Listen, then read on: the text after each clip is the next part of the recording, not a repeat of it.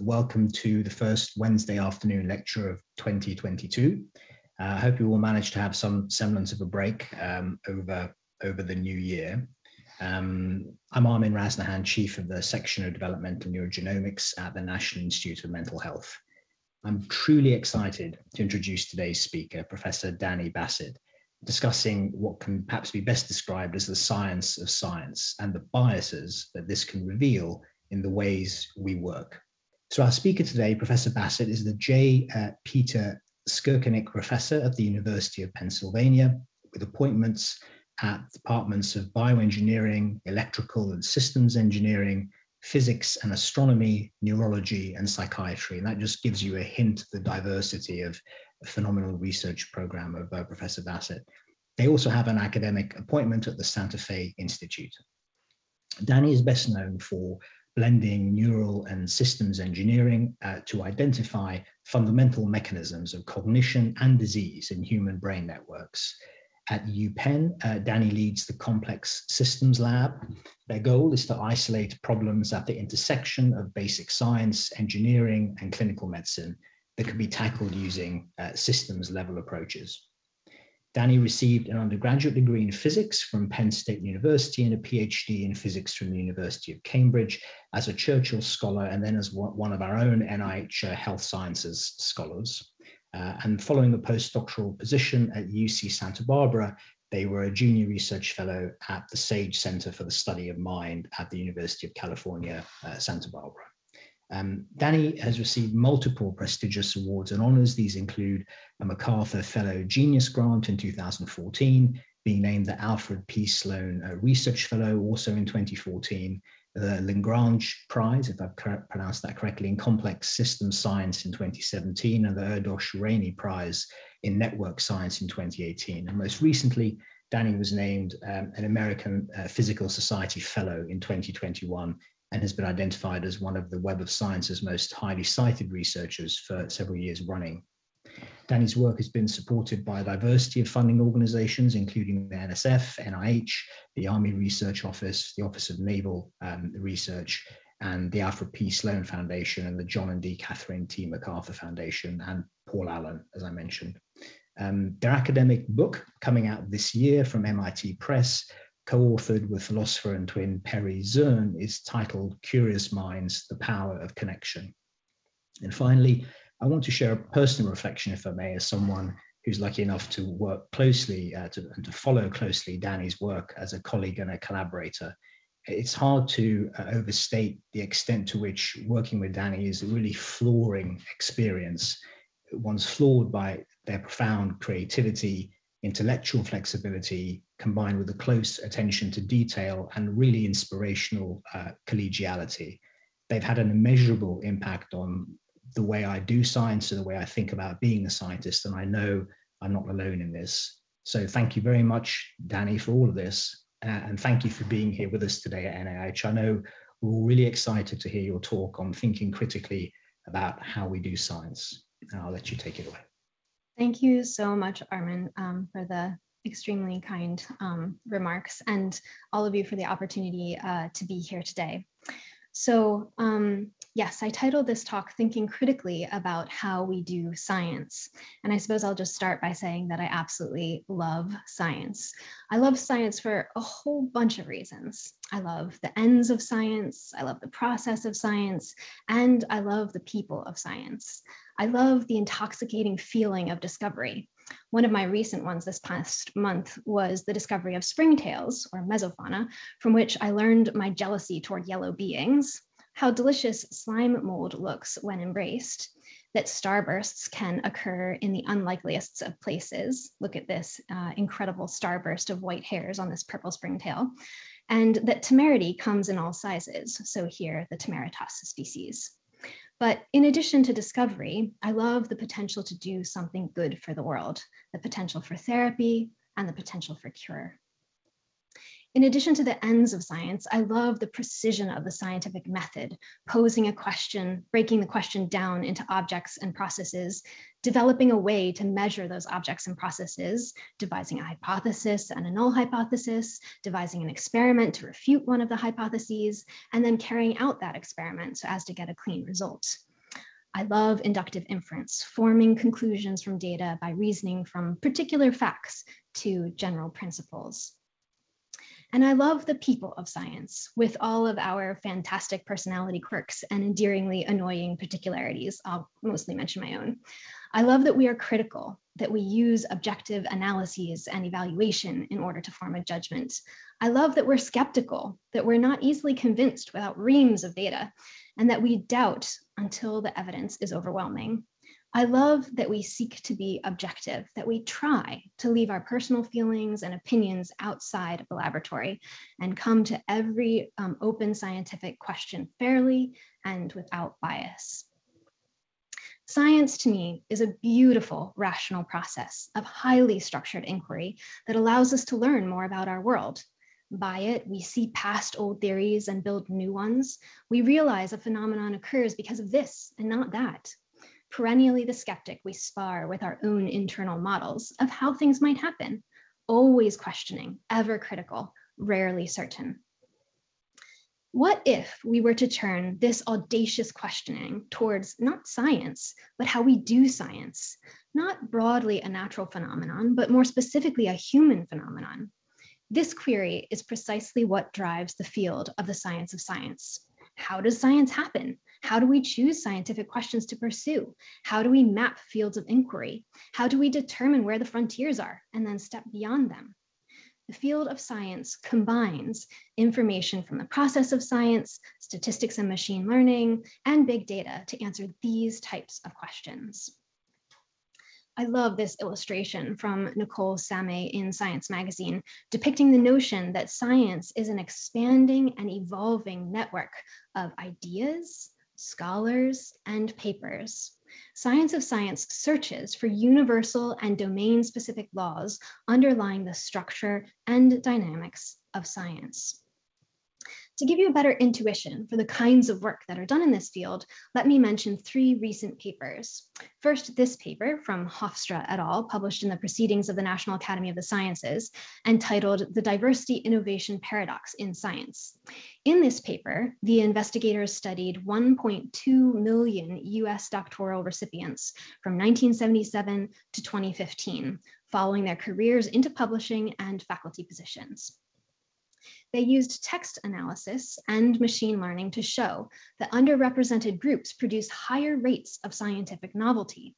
However, their novel contributions are devalued and discounted. Or consider this paper from Way et al., also published in the Proceedings of the National Academy of the Sciences, entitled Productivity, Prominence, and the Effects of the Academic Environment.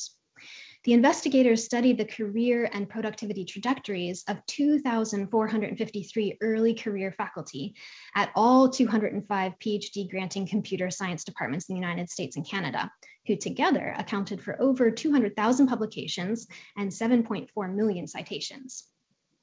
The investigators found that the scientific productivity of early career faculty is driven by where they work rather than where they trained for their doctorate, indicating a limited role for doctoral prestige in predicting scientific contributions and more um, role for the um, prestige of the institution in which they currently worked. Or as a third example, take this paper from Cassidy uh, Sugimoto and colleagues published in Nature entitled Global Gender Disparities in Science. The investigators studied over 5 million research papers and review articles with over 27 million authorships. They find that papers with women in key authorship positions are cited less than papers with men in key authorship positions. And this observation was true whether the paper under consideration was a single authored paper, a paper from national collaborations, or a paper from international collaborations. So you can see the average relative citations for the women in red and for the men in blue. And across each of these, you can see a gender gap here, a gender gap here in the national collaborations, and a gender gap here in the international collaborations. So already with just these three examples, we have seen that gender, race, and class or prestige structure science, calling into question my perhaps youthful hopes for objectivity. Of these three examples, I'll now focus on Cassidy's study of the citation gender gap and ask why it matters, how prevalent it is, and how it arises.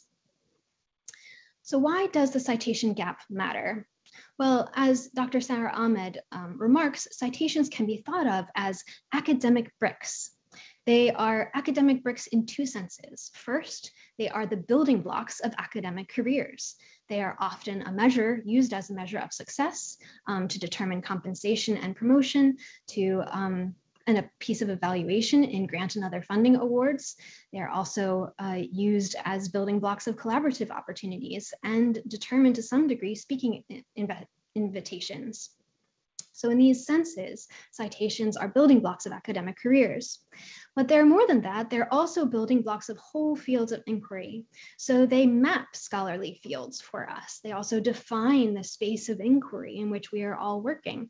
Um, citations also determine the scope of questions considered and whose questions are considered and how. Um, and they record a history of scientific ideas. As academic bricks then, citations can build a more diverse scientific community or they can erect walls of exclusion. So let's dig into one particular example, and this will be uh, neuroscience. So across 61,416 articles in five top neuroscience journals, the proportion of articles with a woman's name as first or last significantly increased between 1995 and 2018 at a rate of about 0.6 percentage points per year. And when I say um, women and men over the next few slides, what I mean is that the probability of the person's gender is being assigned based on the Social Security Administration database and Gender API, which together provide the probabilities that a given first name belongs to a man or woman according to the sex that physicians assigned them at birth or to the gender or sex that they were later in life. Due to the probabilistic nature of these databases, authors in both the man and woman bins could be of any gender, including trans women, trans men, cis women, cis men, non-binary, gender diverse, gender fluid, gender queer, two-spirit, travesti, etc. Nevertheless, the woman bin will contain a predominance of women and the man bin will contain a predominance of men. So in these data, we can test the hypothesis of the undercitation of women consistent with what Cassidy Sugimoto showed. So to do that, for each of the 31,000 citing papers between 2009 and 2018, we took the subset of its citations that had been published in one of the top five neuroscience journals since 1995, and then uh, predicted the gender of the cited first and last authors. We also removed self-citations because we were really wanting to focus on how each of us engages with the work of others rather than how we engage with the work of ourselves. We then calculated the number of cited papers that fell into each of four categories. So first author and last author being of the genders man and woman. So man-man papers, woman-man papers, man-woman papers, and woman-woman papers. Um, and we I'll just sort of forecast that we're going to be doing the same thing for race and ethnicity in a moment so that we can see um, the similarities between uh, this gender gap and a racial and ethnic gap.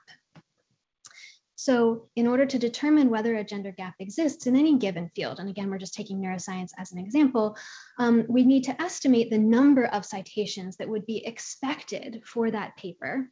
Um, and how do we define those expectations?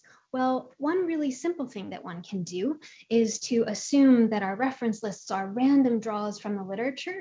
And because um, uh, the um, fields uh, of um, of neuroscience or of uh, uh, medicine or of physics or of astronomy, as we'll see in a few moments, because they often have right now more um, men in them than if you take a random draw uh, from that, you'll end up with a reference list that has more papers written by men than papers written by women. So that's the random draw expectation. Now the question is, are papers from those groups being cited according to those proportions from a random draw? Or are some papers being cited more than or less than expected given the random draw? So that's precisely what we're plotting here along the y-axis, so percent over and under citation. And what you can see in neuroscience, consistent with what Cassidy showed, is that papers with a man first and last author are overcited um, by 11.6%, and papers with a woman as first and last author are undercited by 30.2% for a difference of over 40%. Now, you might say, and many of um, the people in our fields do, well, when I put together my reference list, I definitely don't take a random draw. There are certain factors that come into play when I choose um, what paper to cite. And those factors might include um, the year of publication. So papers that are older tend to have more citations than papers that are newer. Um, I also might care about the journal that the paper was published in. Even among the top five journals in the field, there's still a difference in the perceived impact factor of one journal versus another. So that might have a role to play.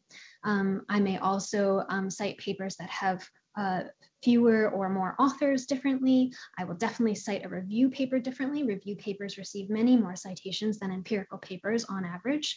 Um, and the seniority of the paper's first and last authors might be important in how I choose to cite. So we can account for each of those factors inside the statistical model, which is a generalized additive model or GAM.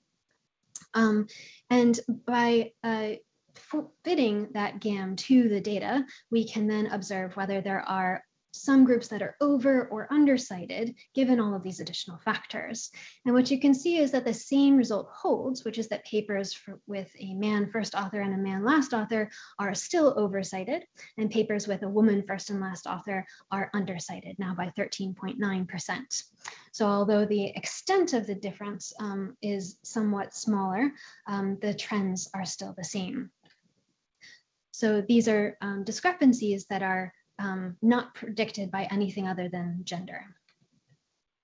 So then we can ask, do men and women cite similarly or dissimilarly? And I'm going to ask the same question in a few slides about people who are white or people of color. So um, we find that imbalance within reference lists uh, shown previously is largely driven by the citation practices of man-man teams and is significantly mitigated um, in the citation practices of teams that have a woman, either as the first author, the last author, or both. So just to show you that on the left-hand side here are the citing practices of the man-man teams in neuroscience, and along the y-axis is percent over under citation, and then here are the four groups. So you can see again the over citation of the man-man papers and the undercitation of the women-women papers. You can see that that effect is largely mitigated in the groups that have a woman in one of the two primary author positions. So this suggests that men and women are not citing similarly. And as we'll see in a few slides, white people and people of color are also, also not citing similarly, which suggests that there may be something broader going on.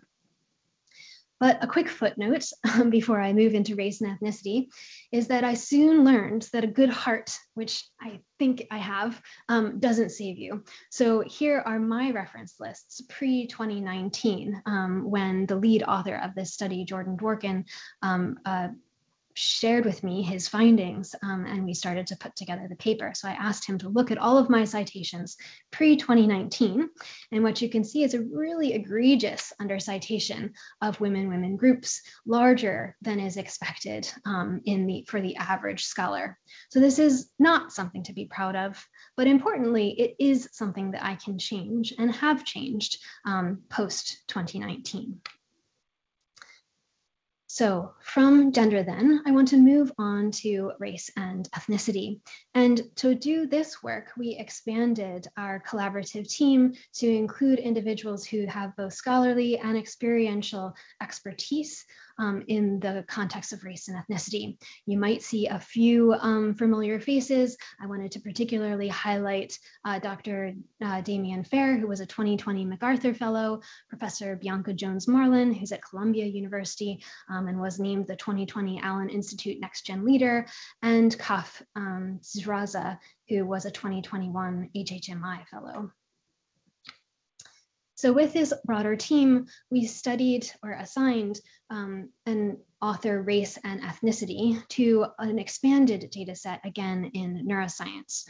So we used publicly available probabilistic databases and a deep neural network that learns the relationship between the names and the racial or ethnic categories in three different data sets. So the Florida voter registration data set, a um, US Census dataset and Wikipedia entries. And I'll note that both the Florida dataset and the US Census are obviously US centric, and so will be reflective of the relationships between names and races and ethnicities in the US, um, whereas the Wikipedia data is obviously international, and so will be more reflective of those associations in the broader population. The approach that we use allows us to estimate the probability distribution across four racial or ethnic categories, Asian, Black, Hispanic, and white, based on each author's first and last names. So now across uh, 63,000 articles, the proportion of articles with a person of color as first or last author significantly increased between 1995 and 2019 at a rate of roughly 0.49% per year. So here's the percentage of publications. In this orange color is the author of color, author of color papers. So that's in the first and last position. And the papers in blue here are papers that have a white first and last author. So you can see a growing um, diversity of authorship in this field. Now we're going to test the same simple hypotheses that we test in, in tested in the previous data set. So we'll ask, um, are white papers from white authors overcited or undercited? And what about papers from authors of color? So here along the y-axis, you're seeing the percent over and under citation according to the random draws model. So that's where we just take a random draw from the, the uh, references papers available in the field. And because there will be more papers from white people, there'll naturally be more um, white papers in the reference list. And the question is, um, do we cite according to that probability or do we overcite the white white papers or undercite the uh, papers from people of color? So what we find is that indeed we as a field uh, in neuroscience, overcite papers from um, white authors. So we overcite them by 8% here, and we undercite papers from authors of color by 17.2%. And we can split that data up into who's doing the citing. So we find that white citers are like me, so people like me are significantly overciting other white, other papers from white scholars. Um, and that's by 12% point percentage points. And uh, people like me undercite authors of color by 24.1%. So this is a difference of over 34% uh, percentage points. Now, if you look at the practices of citers of color, they are still a little bit overciting um, papers uh, from white scholars and underciting papers from authors of color, but it's to a much lower degree than we see in the um, white citers. So that suggests that um, this um, uh, large effect is being significantly driven by one group more than the others. Now we can ask not just about that random draws model, but taking into account these other factors that may impact the way that we cite. So the year of publication of the article or the journal it was published in, the seniority of the first and last authors, whether it was a review article or a, an empirical paper. And in addition, we also included the location of the author's institution inside our statistical model so that we could account for geographical variations um, in uh, uh, race and ethnicity. And so what you can see here is that the overall trends still hold. So um, papers from, from um, authors who are white are overcited, papers from authors of color are significantly undercited, and the majority of that effect is being driven by white people like me um, rather than citers of color. Now, you can put the two pieces of data together, and I think this is really important, which is to understand um, how intersectionality plays out uh, in the way that science is being um, understood and valued and engaged with. And so here, what you're seeing is along the y-axis, the first author of the paper, um, uh, uh the race and ethnicity, white, Asian, Hispanic, and Black, and then the gender, and then along the x-axis is the last author of the paper. So just by squinting, you can clearly, clearly see that there's a block diagonal structure, meaning um, that there's a lot of red in the top left and a lot of dark blue in the bottom right. That is the gender effect. So in the top left, we have papers that have a man in the first and last author position. And in the bottom right, we have papers that have a woman in the first and last author position. So this big block that you see um, is a gendered effect. But then even beyond the gendered effect, we can see an effect of race and ethnicity inside of each of these blocks. So here I'll just point out the um, the largest and lowest of numbers. So here the papers from a white first author and last author are overcited by 24%, and papers from a black woman as first and last author are undercited by 47%. So that's an over 70 point difference. And these effects are, as I said, being driven by majority uh, groups, so majority race and majority gender, and unfortunately are also increasing with time. So um, we can ask how similar versus different are these trends across fields. So I was showing you neuroscience as an example. Cassidy took many fields at once. Can we look at individual fields and see whether there are similarities versus differences? So here, for example, is a wonderful paper just published recently in Nature Astronomy. And along the y-axis, you see the measured or predicted number of, versus predicted number of citations. Um, and then along the x-axis is the year. And um, the investigators state in their paper that we measure an average intrinsic bias of about 10%, implying that women systematically receive 10% fewer citations than would be expected if they were men, given the non-gender specific properties of their papers. Notice that astronomy seems to be doing better over time, um, whereas neuroscience appears to be doing worse over time. Um, here's an example from cognitive neuroscience as, an, as another field.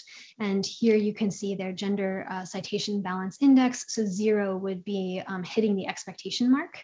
Um, and you can see an over-citation of the man-man um, papers and under-citation of papers that have a woman in the first and last author category. They state in their paper, the results indicate that papers authored by men as the first and last authors have been overcited compared with what would be expected based on the number of papers published by this journal that were authored by man-man teams. By contrast, papers authored by teams with at least one woman in the first and last author position have been undercited.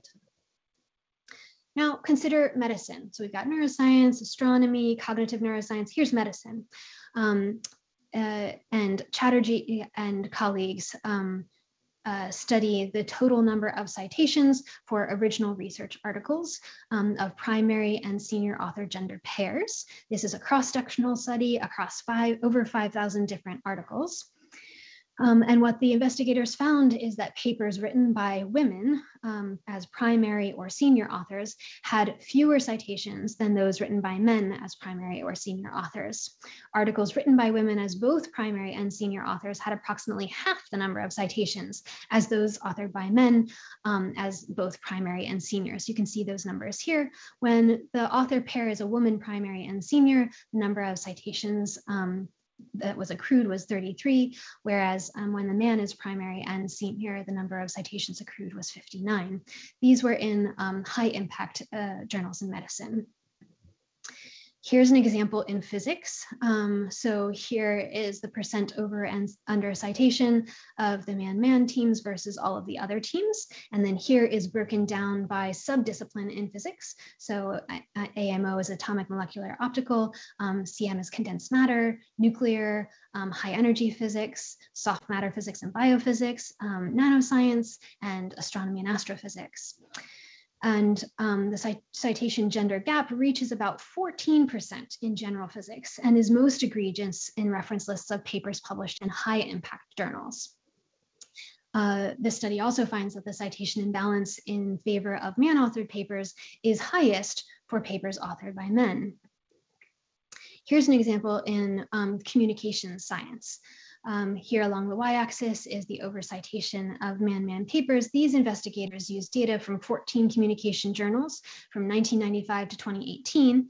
Um, and we find they find that reference lists include more papers with men as first and last author and fewer papers with women as first and last author than would be expected if gender were unrelated to referencing. This imbalance is driven largely by citation practices of men in other fields, and this is the last example, but I wanted to give you a flavor for how many different fields are finding the same thing. Um, so here in international relations, um, a paper from 2013 uh, by uh, Maliniak states that women are, or finds that women are systematically cited less than men after controlling for a large number of variables, including year of publication, venue of publication, substantive focus, theoretical perspective, methodology, tenure status, and institutional affiliation. They also find that articles authored by women are systematically less central than articles authored by men, all else equal.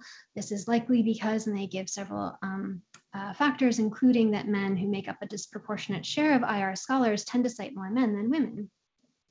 In political science and social science, Dion et al. in 2018 showed that analyzing all articles published from 2007 to 2016 they find that female scholars are significantly more likely than mixed gender or male author teams to cite research by female peers. And finally, Mitchell et al., again in international relations, finds that empirical analogies, analyses suggest that male authors of articles in uh, two large journals in the field are less likely to cite work by female scholars in comparison um, with female authors. So with all of that data in front of us, we can ask, you know, well, what do we what do we do about this, and how do we think about it, and how do we think about what it means um, for science? So um, here are a couple common responses um, that I've heard uh, in in response to to these data. The first one is kind of like, well, you know, white people just write the best papers. Shrug. Um, second one is, well, men just write the best papers. Shrug. The third one is I just cite good science. I don't see race. I don't see gender. The fourth one is I work in a field where there are no women or people of color. It's not my fault, it just is. The fifth one is I'm sure my field is different. I mean, there are famous women or people of color in my field. And then the person goes on to list two names. The third or the final one is I can't believe you admitted to underciting women. The horror. So those are the common responses. But I want to think about how we can respond as scientists, taking that wonderful scientific brain that I love in all of us and turning it towards these data. So let's be scientists. Let's be skeptical. Let's be critical. Let's be objective. And let's be objective about us. let's look at the data. Let's look at the fact that this is coming up in many, many different fields, that it's happening both in gender and in race and ethnicity um, and think hard about what that might mean. We can also think objectively, skeptically, critically about all of the further data outside of citations about gender and racial inequalities um, being pervasive, not just in our world, but also in academia, um, and note the prior work that has reported gender and racial inequalities in compensation, in grant funding, in credit for collaborative work, in teaching evaluations, hiring and promotion, productivity and authorship. We should look at these data and, and recognize that scientists, we, me, are not some special breed of human immune to racism, sexism, classism, etc both as something we have inside of us and as something we inherit through structures of oppression in the institutions around us and around science. So let's be scientists and figure out what are the drivers of these inequalities? Well, there are a couple factors that are very clear. Um, the first one is that uh, several of these studies show that the citation inequalities are driven to some degree by a citation practice that has re remained the same since 1995, in, while the um, demographics of our communities have changed. Our fields of science are growing increasingly diverse at a wonderful rate. It's not fast enough, but it's better than zero. Um, but our citation practices are not keeping up um, with who is in our field today. They look more like who was in our field in 1995. Second, um, gender imbalance in co-authorship uh, in the co-authorship network of a paper's authors partially explains the gender imbalance in author citation behavior. So in other words, if I tend to collaborate with people only of a, or mostly, mostly of a certain gender or mostly of a certain race, then I will also end up citing according to those probabilities to some degree. So this is a challenge to us, I think, to think differently about how we cite outside of our co-authorship network, but also maybe to change our co-authorship network to be um, broader, to be more diverse, to be more inclusive. Third, racial and ethnic segregation in co-authorship networks is increasing despite greater field-wide collaboration. Um, and fourth, um, I think I mentioned this a little bit earlier, but one of the factors that seems to be very clear is that there's homophily. So we end up citing people that are a lot like us. We cite people of our own gender and we cite people of our own ethnicity and race. Um, this is called homophily. Homophily in um, citation networks is very prevalent across these fields that I've just um, canvassed for you. Lastly, I want to think about electronic publication. Um, there's a very interesting paper from James Evans that was published in Science Magazine in 2008 that was called the uh, Electronic Publication and the Narrowing of Scholarship. And in that paper, he uh, uses a database of 34 million articles and their citations from 1945 to 2005. Um, he also used the online availability from 1998 to 2005. And he shows that as more journal issues came online, the articles referenced tended to be more recent, fewer journals and articles were cited, and more of those citations were to fewer journals and articles. So searching online is more efficient and following hyperlinks can quickly put researchers in touch with prevailing opinion, but this may accelerate consensus and narrow the range of findings and ideas built upon. I think that's a call to de-narrowing and lastly, let's be scientists in attempting not just to identify the drivers, but mitigating some of these drivers of inequalities. So one thing that we can do is to very quickly check and fix our own reference lists. And that's something that we do regularly now. We use this um, online uh, freely available toolbox uh, where you can put in your reference list and obtain a um, prediction of whether you are close to expected proportions are, or farther from them. And then you can think if you are far from the expected proportions, who is it that I'm missing? And very often for me, the people who I'm missing are the people who have gotten faculty positions in the last five to 10 years these are the people that it's my responsibility to know more about and whose work is my responsibility to um, engage with in an intellectual way in um, the, the work that I do. Secondly, another option is to append a citation diversity statement to my paper, uh, which I'll mention on the next slide. And the third is to bring more inequality to light, to develop more mitigation tools. I'll just highlight a tool that's freely available on the Chrome Web Store. It's called Citation Transparency, and you can use it. It was developed by Jenny uh, Stizo, and you can use it to um, identify the uh, predictions about author demographics as you're searching PubMed or Google Scholar. So what is the citation diversity statement idea? Well, this is something that we're appending to our papers and, and many other investigators are doing so as well. It has several sections, motivation, methods, results, and limitations. And I'll read it very briefly to you. So it says recent work has identified a bias in citation practices such that papers from women and other marginalized scholars in STEM are undercited relative to the number of such papers in the field. Here we sought to proactively consider choosing references that reflect the diversity of the field in thought, form of contribution, gender, and other factors.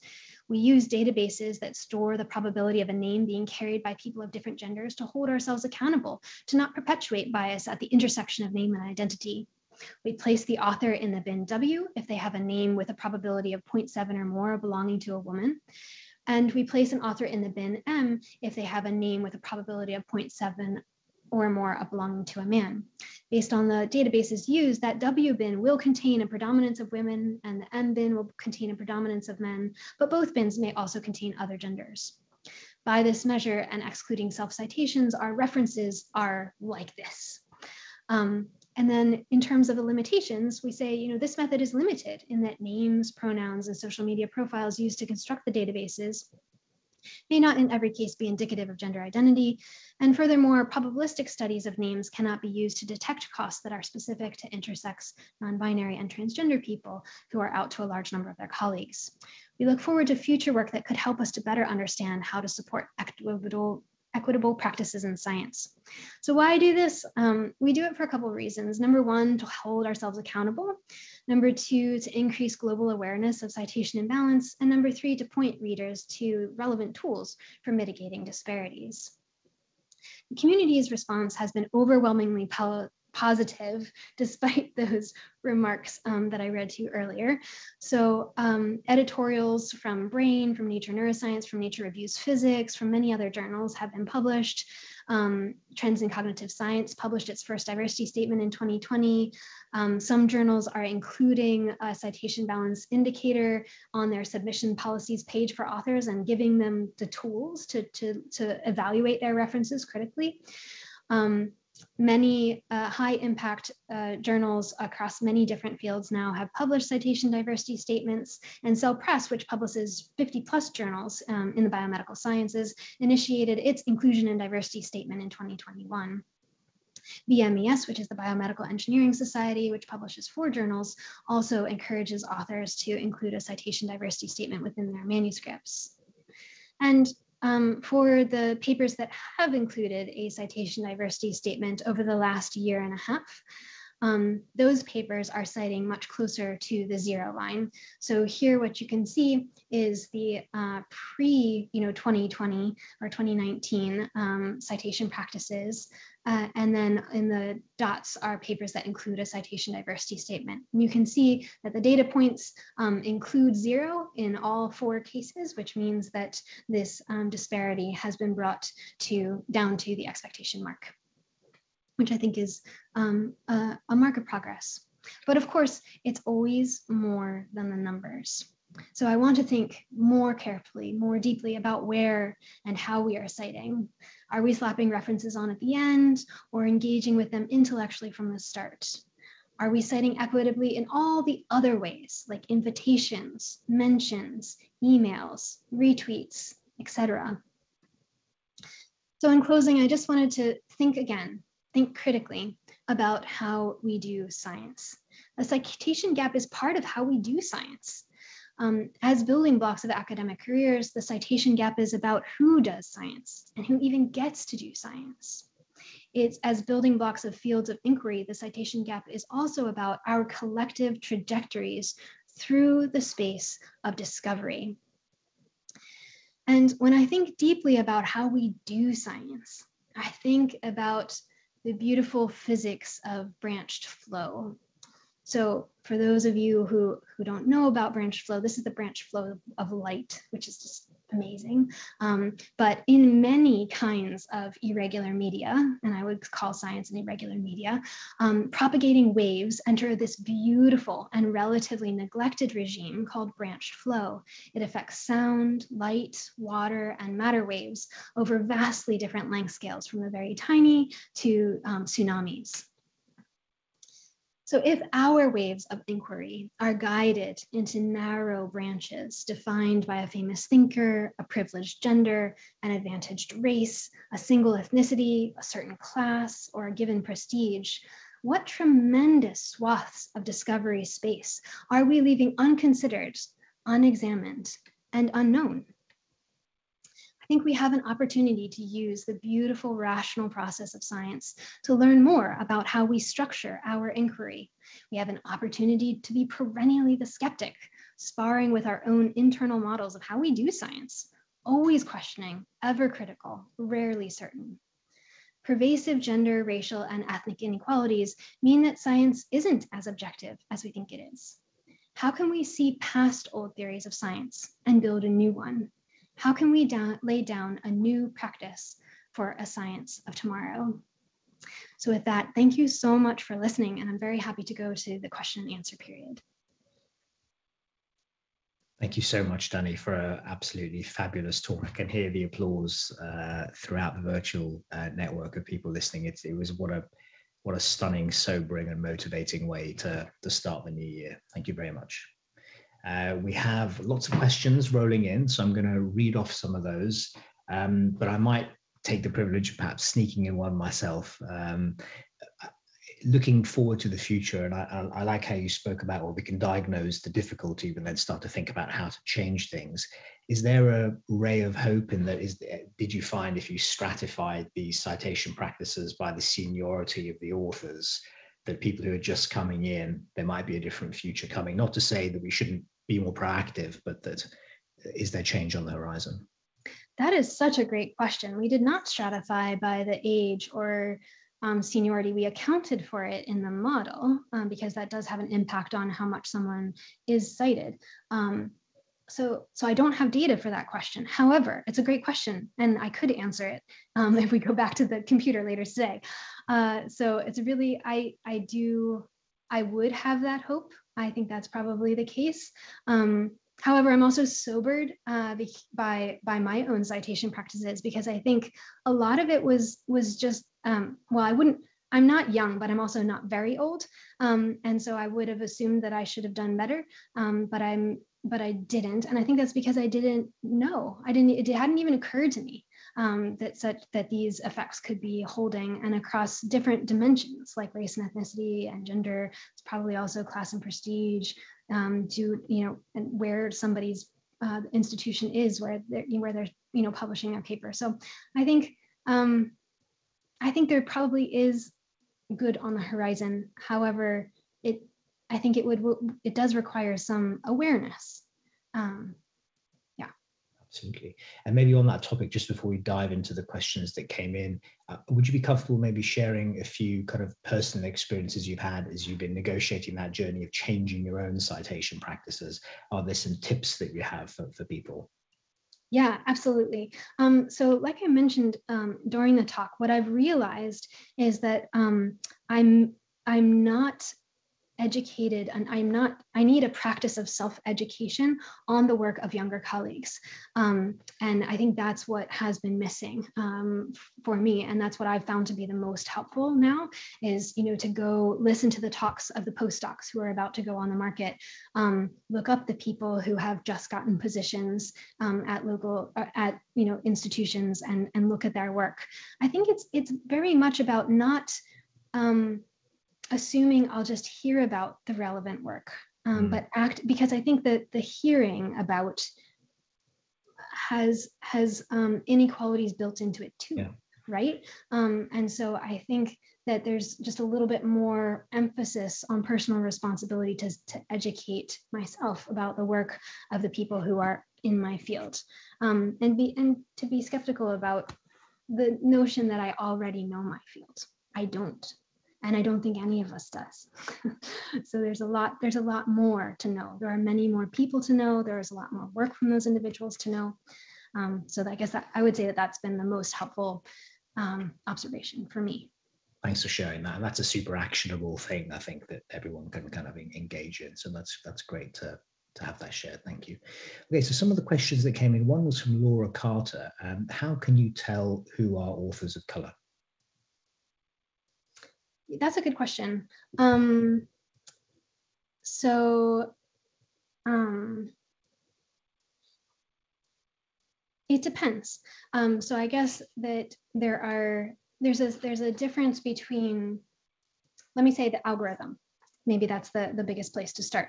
So the way that the algorithm works is that it takes um, first and last names and examines the probability, the, the, yeah, the frequency of letter pairs. So if L and Z are next to one another in their first or last name, then that would give a clue about the race or ethnicity of that person, that it comes from this language and that language is associated with this race and ethnicity.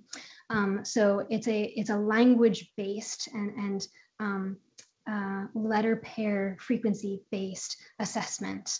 Um, so what that means is that there is uh, there are for sure, just as in gender, um, there are people who are in the white bin who may not appear white. There are people who are in the um, uh, uh, Asian bin that may not uh, appear Asian. Um, and so there's a difference, there is certainly a difference between a person's um, physical appearance or visible identity um, and the identity derived from their name. There's also another yet identity, which is what who how they identify. Um, so that we often call that self-attestation. That is, this is you know the race and ethnicity I am. This is the gender I am, um, etc. So there's there's an interesting you know milieu of what are the features that we see in others do do I see you, Armin, in, in real life? Um, or do I just see your name? Um, do have I ever asked you your gender identity? So there's many things that are questions about um, you know what are the what are the pieces of information that we have just by looking at papers and and those pieces of information may are our cognitive apparatus may use implicitly um, to drive citation practices. And then what are the pieces of information we know about our colleagues um, from asking them um, or seeing them? So uh, which can which can drive a different set of citation practices right? So i think in the future it will be really interesting to to understand more of um, those different facets, which makes it more complicated. Thanks. And I think it was really lovely the way you, the methods you've been employing find a way of still being able to to uh, take a quantitative approach, even in the face of the complexity of the variables that you're wanting to look at. Uh, there are still ways we can kind of push against that um, and provide the data we need to motivate change. Um, so another question by Anne Corsi. In my experience, one of the biggest influences of whether I will cite a paper is whether the paper can be found in open access publication or whether uh, or otherwise easily obtainable format. Often I run into a paywall. Have you looked at whether the various groups you examine are publishing um, and where the various groups you examine the publishing and how that fits with your citation data? Yeah, that is such a great question. We have not explicitly looked at that. However, um, we are aware that open access um, in many journals requires a hefty price tag, um, which means that there's an association between the wealth of the lab um, and the number of open access papers.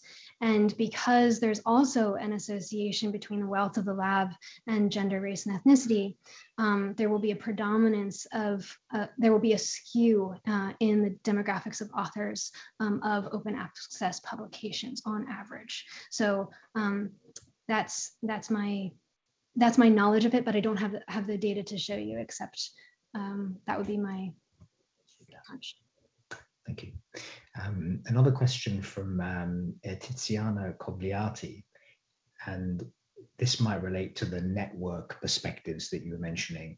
How much personal professional interactions affect citing practice? Could it be that authors tend to cite more often other authors they know interact with professionally? Could this affect reflect some kind of segregation or selective clubs? Um, yes, definitely. So the way that we see this, the, um, that's that's quantifiable, uh, is that we tend to cite very locally on our co-authorship network. Um, so I may, I may cite people that I co-author with, but I'm also likely to cite um, people that they co-author with. So mm-hmm. like two steps away from me. Um, it's much less likely for me to cite somebody who's seven or eight or nine steps away from me on the co-authorship network. And so what that ends up meaning is that a lot of our citations are relatively local um, to collaboration, which is a social um, structure in addition to being a scientific structure. Um, so I think that that's where the, the social part comes in. Thank you. Um, Tiago Ferreira asks, thanks for what says great, thanks for the great talk. Um, any possibility to propose an impact factor like index regarding diversity in journal uh, journal publication, acceptance or citation? A diversity impact I don't think I'm quite following that question. I wonder whether the question relates to sort of scoring journals or the the, the oh. diversity. That's interesting. Um, I don't. I that's really interesting. Just as a as a sort of mark of. Hmm, yeah, I don't know. I that's that's a great. That's a really interesting suggestion. Um, it's not one I've heard of before. I do know that that journals differ significantly in the degree to which their papers are being are are you know have reference lists that are um, you know um, tracking the field uh, versus not tracking the field and um,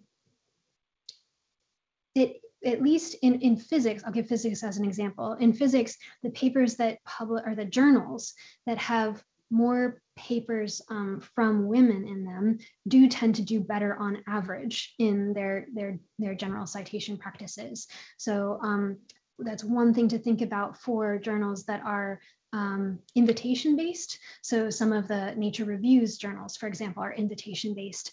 Um, the Reviews of Modern Physics is invitation based. I, I, know that there are several others, and so that's something I think maybe to be aware of is that um, you, those invitations could be considered um, for whether they're being distributed, uh, you know, in a in a in a way that is um, equitable.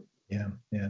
You make me wonder whether the gender composition of the editorial board um, could potentially kind of track some of these metrics. Um, yeah. But it's hard. There are lots of mechanisms that could account for that, I guess. Um, uh, related to that, I was wondering if you had any hypotheses about the reasons that different fields are showing different time trends. Why is neuroscience doing so badly when astrophysics is doing so well? Well, relatively speaking. Yeah, yeah, yeah. I am so curious about that as well. I wish I knew. Um, I, you know, a very, a uh, you know, really positive thought about neuroscience is that maybe, maybe the um, field is growing more diverse more quickly.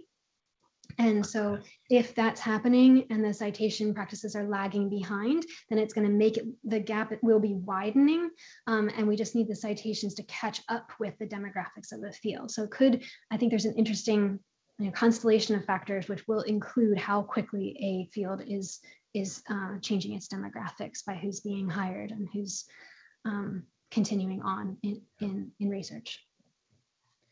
Um, thank you. And perhaps as a, a, final question, maybe from uh, Dennis uh, Kovanda, we spoke a lot about the value of quantitative approaches, which your work just, just demonstrated so beautifully. But I wondered if you could speak a little bit, or Dennis wondered, to the value of research using qualitative data, or perhaps a complementary mix of the two with these sorts of questions in mind?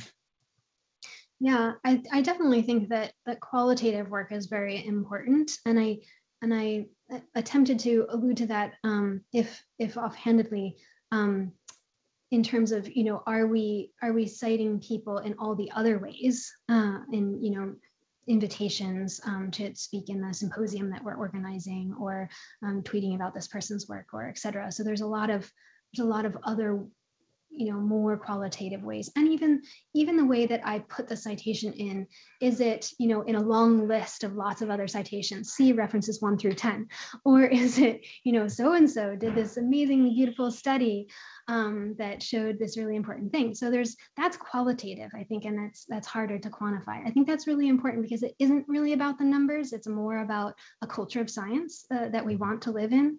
Um, but i guess I would also say that as, you know, I admit to being a scientist, so I like the data. I like to see um, that, you know, something is quantifiable. Uh, and so I, I see merit in that. I also see merit in the in the quantitative approaches because they can show us some factors that are driving what's happening, like the co-authorship networks, for example, or the fact that citation trends just, just aren't changing when the field is changing its demographics, right? Um, these, these factors help us to sort of wrap our head around why. And I think once we understand understanding a little bit more about why guides how we, what things we might change or focus on. So I, I like the quantitative factors um, for that reason too. Thank you. Well, thanks so much. I'm getting lots of um, thank yous coming through the the chat, so I'll channel the the the the, the audience's thanks. Um, a really fabulous talk that just highlighted the the special sort of Dani flavor, I think that that that you bring to the work. So thank you so much. It was just uh, um, thrilling and profound and actionable, uh, and a lovely way to start the year. So thank, thank you. you for your time. Thanks everyone for coming and listening and um, and look forward to seeing you at the next uh, at the next Wednesday afternoon lecture talk. Thanks everyone. Bye.